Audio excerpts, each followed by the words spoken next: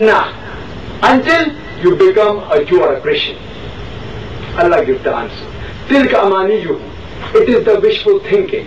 بقواس بقواس. قل tell them هاتوا برهانكم إن كنتم صادقين. Produce your proof if you are truthful. You tell them that what you are speaking if it is the truth, produce your proof. قل هاتوا برهانكم. And they have produced their proof, the Bible, in more than 2,000 different languages. They always say that my Bible says this, my Bible says that. My Bible says this, my Bible says that. And they have produced the Bible in more than 2,000 different languages. You name it and it's there. In almost all the languages of the world. What do we have to do? Do we have to follow the Bible hook, line and sinker? When you ask for a proof, what do you do? You examine the proof. You have to verify the identity. We have to read the scriptures. When Allah says you ask them for the proof, Allah does not mean that you should swallow the Bible hook, line and sinker. You have to analyze it. These Christian missionaries, they read our Quran. They read our Holy Quran and they ask us questions. They ask this question, by say that do you know it's mentioned in the Holy Quran that Bible is the word of God? And most of the Muslims will say yes. They say, why don't you follow it?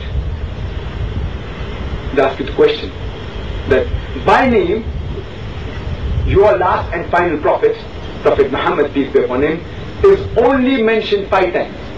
By name, is only mentioned five times in your Holy Quran. But Jesus, peace be upon him, he is mentioned 25 times. So who's greater? They don't give you the answer. They let your mind think. They don't give you the answer. They pose the next question. That your Prophet Muhammad, peace be upon him, did he have a mother and father? He said yes. He had a mother and a father. Did Jesus, peace be upon him, did he have a father? He said no. We agree that he was born without any male intervention. He had a mother, Mother Mary. May Allah be pleased with her. But we believe that he had no father. So who's greater? They ask you the question, but they do not give you the answer. They let your mind answer. They tell you that your last prophet, Prophet Muhammad, peace be upon him, did he ever give life to the dead? He might have done other miracles, but did he give life to the dead? You say, yes, we agree, he did several miracles, but we have not heard of any miracle in which he gave life to the dead.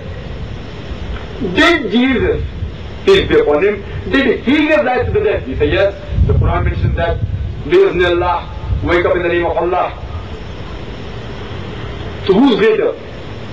A person who can give life to the dead or a person who can't give life to the dead? That is the question. They use us as punching bags. They use us as doormats. Allah says in the Holy Quran, in Surah Al Imran, chapter number 3, verse number 64, He says, قل يا أهل الكتاب Say, O people of the book, تعالوا إلى كلمة سواء بيننا وبينكم that come to common terms as between us and you. Which is the first term? Allah na'budu illallah. That we worship none but Allah.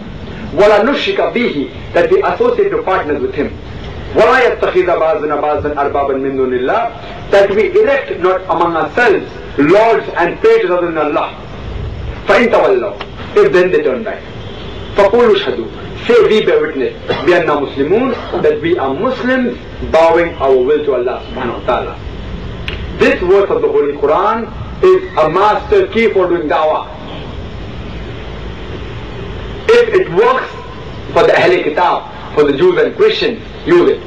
If it works for the Hindus, use it. If it works for the Parsis, use it. It's a master key. It will work for each and every non-Muslim It says, تعالوا إلى كلمة سواء بيننا وبينكم that come to common terms as between us and you. The first term is Allah na'budu illallah, that we worship none but Allah. وَلَنُشِّكَ بِهِ That we associate to partners with Him. Have we told our non-Muslim friends that we should worship only one Allah subhanahu wa ta'ala? Have we told? We go for salah. Alhamdulillah. Many of us pray regularly. Many pray five times a day. We go to the mosque for salah. We go to the masjid. And there we hear our imam many a times reciting the Surah Ikhlas. قُلْ هُوَ اللَّهُ أَحَدٌ Say He is Allah one and only. Allahu Samad. Allah the Absolute the Eternal. Lam yalid wa lam yulad. He begets not nor is begotten. وَلَمْ يَقُلْ لَهُ كُفُوًا أَحَدٌ And there is nothing unto Him like. Our Imam is reciting in the masjid, in the mosque. Say there is Allah one and only. I want to ask the question, does any of other Muslims, do we say that God is more than one? Do we? No. So why is the Imam telling us that there is Allah one and only? Allah subhanahu wa ta'ala is telling, Qul, say, Qul huwallahu ahad. Say He's Allah one and only. Allah is asking you to go and tell those people who do not believe in one Allah subhanahu wa ta'ala that Allah is one and only. Allah samad, Allah the absolute, the eternal. Lam yalid wa yulad. He begets not nor is begotten. Tell to those people who say that Allah has begotten a son, tell them that Allah begets not nor is he begotten. وَلَمْ يَقُلْ لَهُ كُفُوًا أَحَدٌ And there is nothing like unto him. We read the Salah.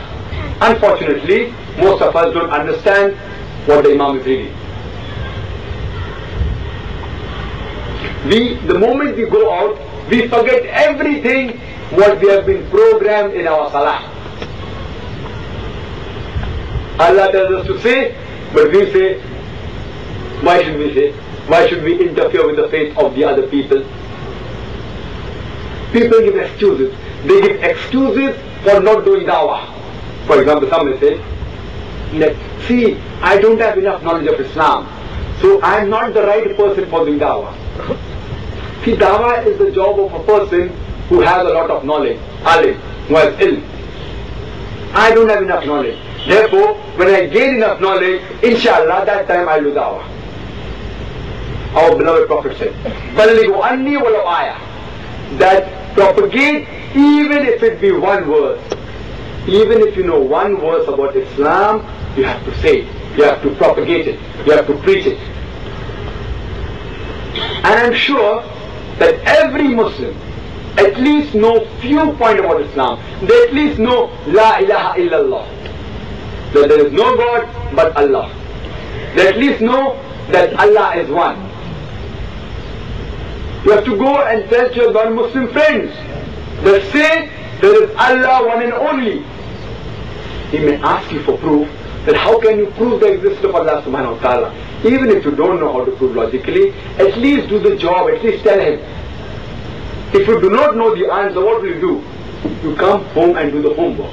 When in an examination, if I give an examination, if you don't know the answer and if you fail, what do you do? In your next paper, you see to it, the question you were unable to answer, at least that answer you know very well. And you do your homework. You study harder. So you go home and find out how to prove the existence of Allah subhanahu wa ta'ala. You go and tell him. That our beloved Prophet Muhammad, peace be upon him, he was the last and final messenger. You want proof? To do your homework. Proof tell them that the Holy Quran is the word of Allah subhanahu wa ta'ala. If they ask, how can you prove it? If you know, you give the answer. If you don't know, come home and do your homework. Alhamdulillah. Now since the media and science and technology have advanced, we don't have to search a lot for these answers. Everything is available on your fingertips. Everything. There are video cassettes by several speakers which are available to us easily in the market. For example, if you want to know how to prove to a non-Muslim about the existence of Allah subhanahu wa ta'ala, about Quran is the word of God, there are video cassettes available in which I've given a talk, is the Quran God's word? And there are proved logically